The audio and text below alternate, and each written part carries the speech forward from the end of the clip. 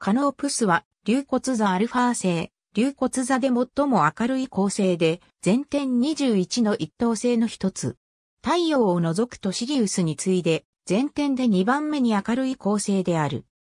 東京から見た、カノープス赤 -52 度42分に位置するため、南半球では容易に観測できるが、北半球では原理的には北緯37度18分度以北では南中時でも地平線のもとに隠れて見ることができない。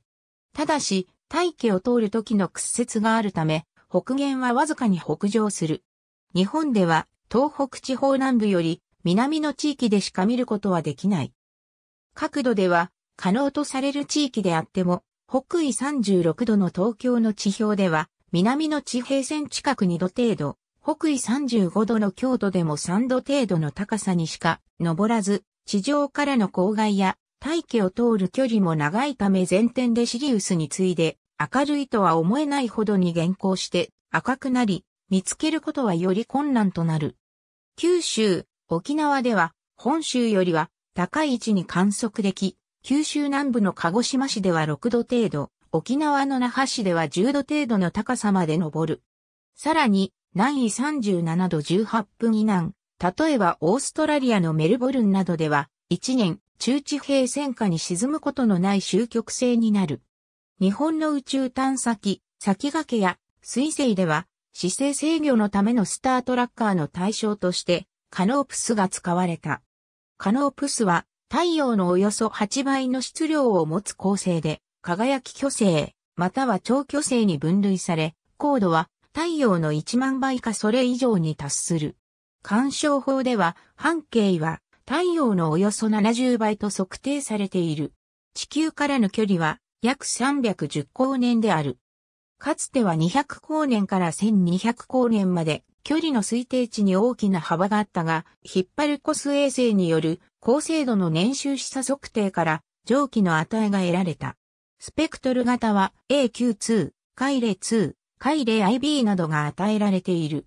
カノープスは構成が寿命末期にたどる進化段階のうちブルーループと呼ばれる段階にある。ブルーループは赤色巨星分子段階を終えた構成が全近巨星分子に入って再び赤色巨星に変化するまでの間に一時的に有効温度が高くなる段階で太陽質量の数倍以上の質量を持つ恒星でしか見られない現象である。学名はアルファカーリーナイ。型有名のカノープス。カノプスは古代ギリシャ語の単語の一つで、紀元前2世紀頃にギリシャに伝わった後に翻訳されずに使われたアルファニューオメガベータという言葉に由来する。言葉自体にエジプトの影響が見られるとされる。2016年6月30日、国際天文学連合の構成の固有名に関するワーキンググループはカノーパスを竜骨座アルファ製の固有名として正式に承認した。カノープスはトロイア戦争時のスパルタをメネラーオスの船の水先案内人、ソーダシュの名に由来するという説がある。ストラボンやコノンの伝えるところによれば、トロイア戦争の後にヘレネーを連れて帰還する途中でメネラーオスの艦隊はナンパしてしまい、カノープスはたどり着いた先のエジプトでヘビに噛まれて死んだ、とされる。日本では、房総半島の沿岸部での別名として、メラ星という呼び名がある。メラは、房総半島の南端にある漁港であり、この方向に見える星という意味合いがある。その他にも南の空にちょっと登ってすぐ沈むのでの横着性などの呼び名がある。ヒンドゥー教では李氏の一人から名を取ってアガスティアと呼ぶ。高度の低さから赤みがかって見えることから中国の伝説では呪老人の星、南極老人星とされる。単に老人星、ことぶき星とも言う。